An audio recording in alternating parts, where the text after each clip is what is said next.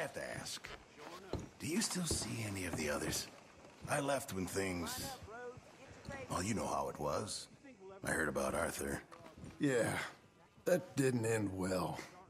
I'm in touch with some of them. Uncle, Charles, Sadie.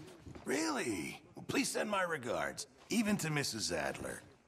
And Dutch, is he, uh, even alive? I don't know. If he is, I sure hope I never lay eyes on him again.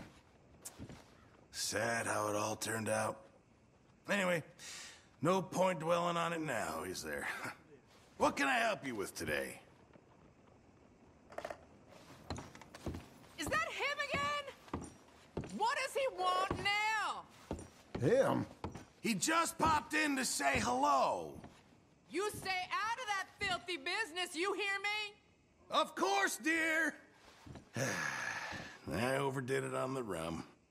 I told her more than I should. I can still hear you. Sorry, dear. I hate to rush you, but I should start drawing a bath for Ethel soon.